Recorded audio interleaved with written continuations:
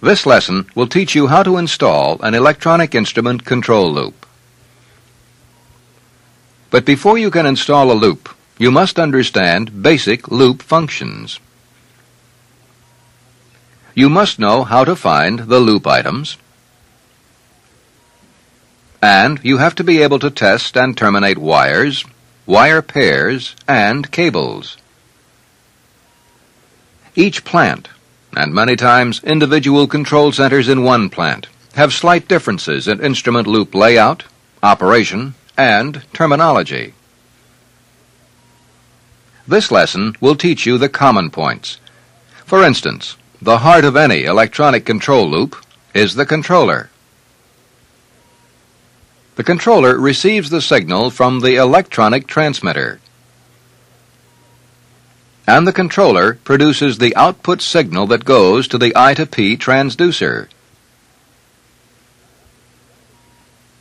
The I to P transducer converts the electronic controller output, which is current, into a pneumatic signal that is compatible with the control valve. In addition, the controller and or the transmitter may provide information to a computer. And the computer can supply the controller with information.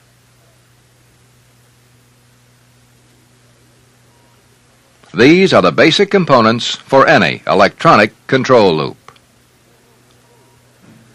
Control loops can also vary in great detail. For instance, these are Foxboro 62H controllers. They use 10 to 50 milliamps for transmitter and transducer signals. These are Veritrac compact control stations. They use 4 to 20 milliamps for transmitter and transducer signals. These are Foxboro Spec 200 control stations. The Spec 200 controllers are located in this rack and are separated from the control stations. The Spec 200 system uses 0 to 10 volt signals. The Spec 200 system uses special current to voltage units that receive the 4 to 20 milliamp signals from the transmitters. Similar units called V to I cards are used to convert the 0 to 10 volt controller output into a 4 to 20 milliamp output. This is a DDC controller. DDC stands for Direct Digital Control.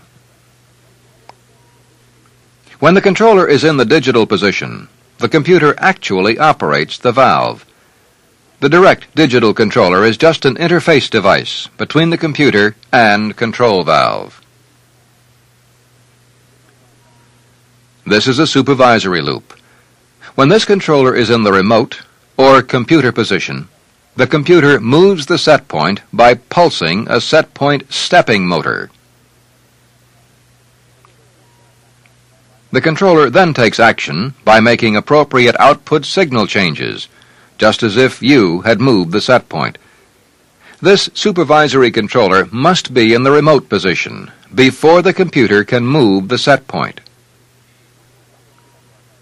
This is also a supervisory control station.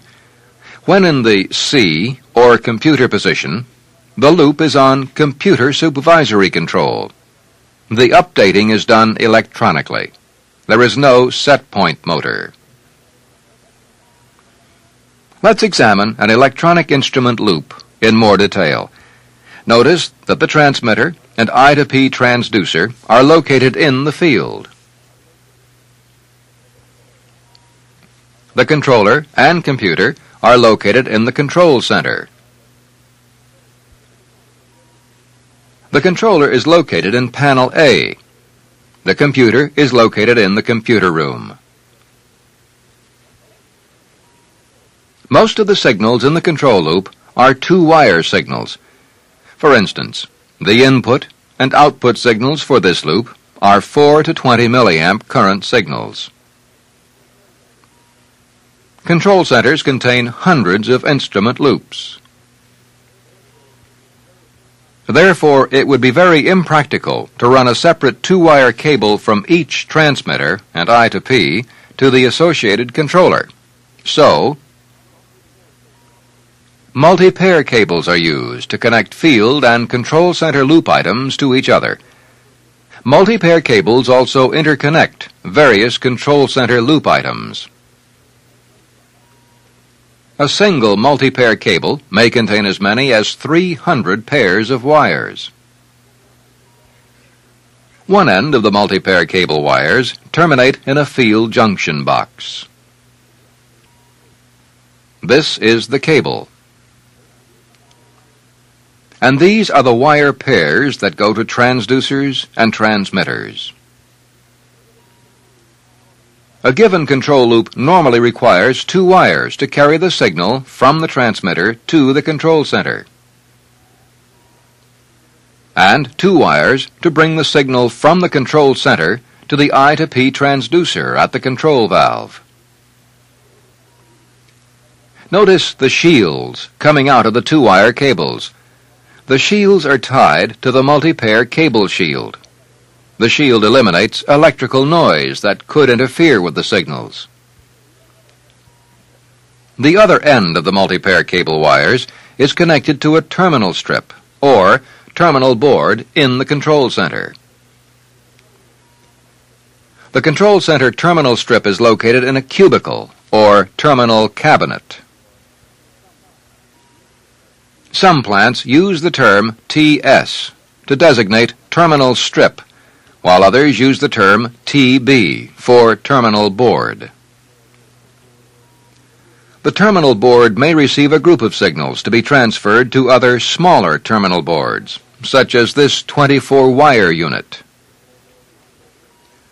Or the field cable may terminate on a number of small individual control loop terminal boards, such as these two-wire terminals. The multi-pair cable is also shielded from electrical noise. The outer plastic covering and inner metal shield are shown here. The shield is tied to a ground bus. The only place the shields are grounded is in the control center. This drawing shows how the cable shields are connected from the field to the house. The only place the shield is grounded is in the control center.